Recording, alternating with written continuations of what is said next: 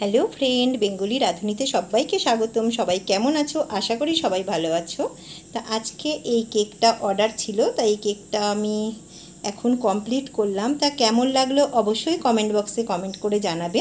আর ভালো লাগলে আমার চ্যানেলটিকে লাইক করবে শেয়ার করবে, আর সাবস্ক্রাইব করবে, আর অবশ্যই আমার পাশে থাকবে।